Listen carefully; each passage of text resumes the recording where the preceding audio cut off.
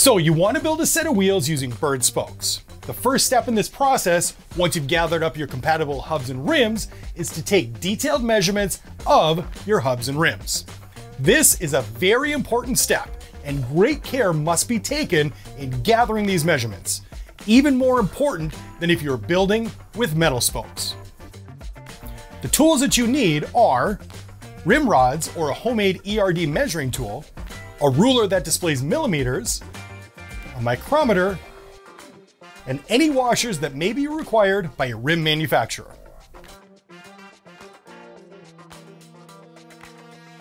First, we need to measure the effective rim diameter, or ERD. This measurement is the maximum distance between one end of the inside of the rim to the same position on the opposite side of the rim. Never use the published ERD or an ERD that a representative of a rim manufacturer has given to you. Even a 1 to 2 millimeter discrepancy will result in the wrong spoke lengths being calculated, and you won't know that there's an issue until you've invested a great deal of time and effort. The preferred method of measuring ERD for external nipple rims is to use Wheelsmith rim rods. First, determine your total number of spokes and insert the rim rods in the exact opposite holes. If your rims require spoke washers, install the washers onto the rim rods. For a 28 spoke rim, insert the rim rod into one hole and then count 13 spoke holes and insert the second rim rod. This will result in 13 open spoke holes between the rim rods. This is the same with 24 hole rims, where you'll leave 11 open spoke holes on either side, or 32 spoke holes, where you'll leave 15 open spoke holes on either side. Next, you'll determine the amount of overlap of the rim rods. Pull the rim rods taut and bring the rods level. Measure the amount of overlap and subtract that from 700. This is your ERD. For example, on this Berd Hawk 27 rim, the measured overlap is 96.5 millimeters. So when we subtract that from 700, we get 603.5, which is the ERD of a Hawk rim.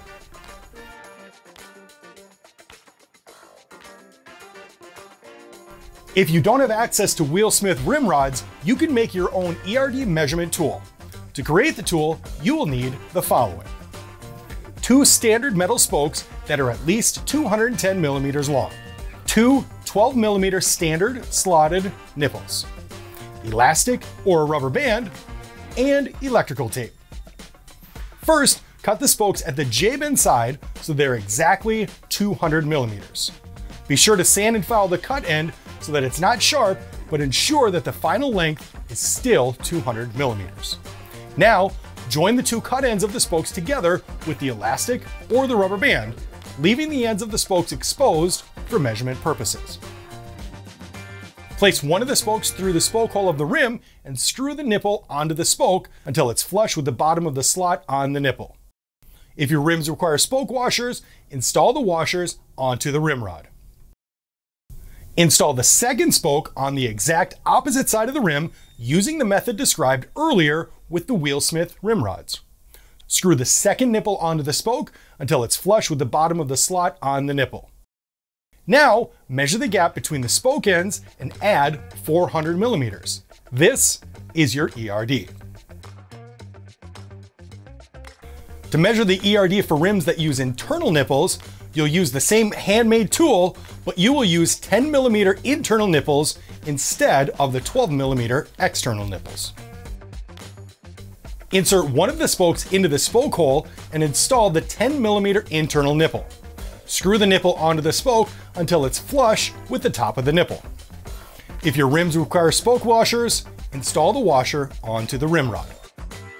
Insert the other spoke into the spoke hole directly opposite the first spoke using the method described earlier and install your spoke nipple. If your rims require spoke washers, install the washer onto the rim rod. Measure the gap between the spoke ends and add 400 millimeters, then subtract 3 millimeters, and that is your ERD.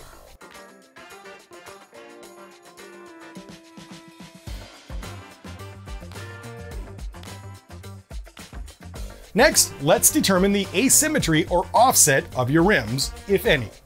This measurement can be sourced from the rim manufacturer if available. To measure the offset yourself, find the center line of your rim and compare that to the center of the spoke holes. This is your asymmetry or offset. Now let's measure up your hubs. If you need further assistance, click on the question mark beside each of the data fields on the Berd Spoke calculator located at berdspokes.com. These measurements can be sourced from your manufacturer. Please ensure that you're referencing the exact model and year of your hubs. Spoke calculators for other spoke manufacturers can also be helpful to determine the measurements of a hub, as long as you're referencing the exact model and year of your hubs.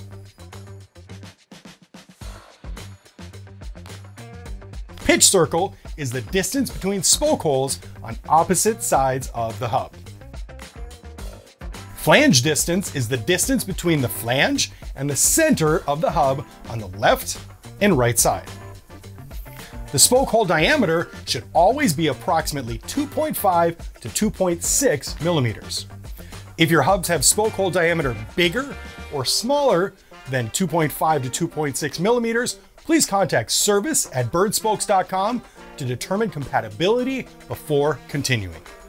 Once you have all of these measurements, you can add them to the Berd Spoke calculator at berdspokes.com.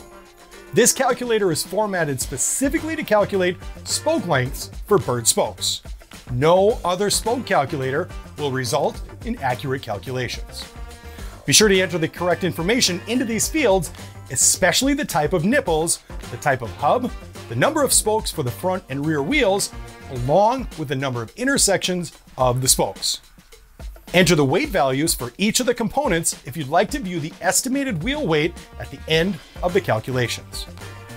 Once all of the required information is entered into the calculator, your spoke lengths will be listed for each of the positions. It's never a bad idea to order extra spokes and nipples for each of the positions, just in case. These Hawk 27 rims using Berd talon hubs use these spoke lengths. Now that you have your spokes calculated, you can order the correct length spokes, along with any tools, spoke nipples, and inserts that you may need for your specific wheels.